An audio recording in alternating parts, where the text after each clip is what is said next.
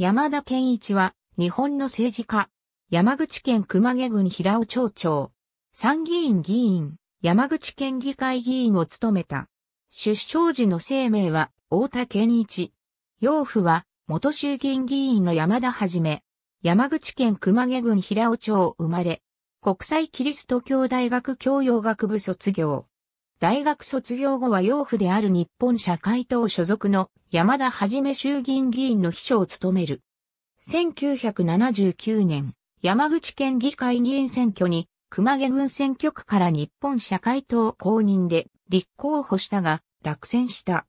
1983年、再度山口県議会議員選挙に立候補し、当選した。1987年、山口県議会議員再選。1989年、県議を2期目の任期途中で辞職。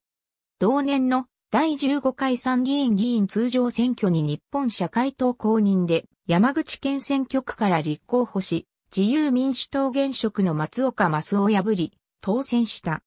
なお1991年の山口県議会議員選挙では、妻の山田博子が熊毛郡選挙区から日本社会党公認で立候補したが、落選した。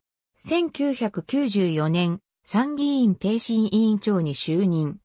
1995年の第17回参議院議員通常選挙には、日本社会党離党支部所属で立候補したが、自民党新人の林義正に僅差で敗れた。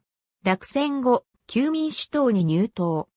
1996年、第41回衆議院議員総選挙に旧民主党公認で山口2区から立候補したが、自民党前職の佐藤真二に敗れた。1998年、平尾町長選挙に無所属で立候補し、当選した。国会議員経験者の町長就任は全国的にも珍しい。以後、3度の平成町長選挙では無投票で再選を続けた。2014年の平成町長選挙では元平尾町議会議長の田中実が立候補したが、山田が田中を破り、5選。町長就任後、隣接する柳井市、田伏町を対象に市町村合併を推進したが、事実上頓挫した。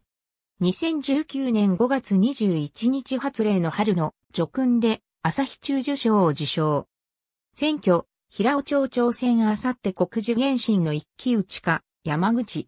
毎日新聞、http 選挙、毎日 .jp、ニュース、2014万1109 DDL k 350億1035万1000 CHTML 2014年12月1日、閲覧。